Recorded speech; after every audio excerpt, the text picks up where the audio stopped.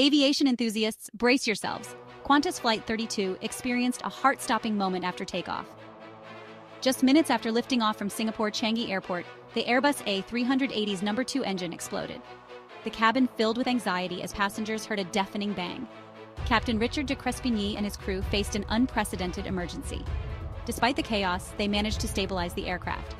For nearly two hours, the team executed a meticulous plan to ensure everyone's safety. Passengers anxiously awaited updates while the crew worked tirelessly. Finally, the aircraft made an emergency landing back at Changi Airport. Miraculously, all 469 passengers and crew members walked away unscathed. The aviation world hailed the crew's expertise and calm under pressure. The Qantas 32 incident remains a testament to the resilience and skill of aviation professionals. It's a reminder that even in the face of disaster, heroes emerge. Stay tuned for more incredible aviation stories. Don't forget to like, comment, and subscribe.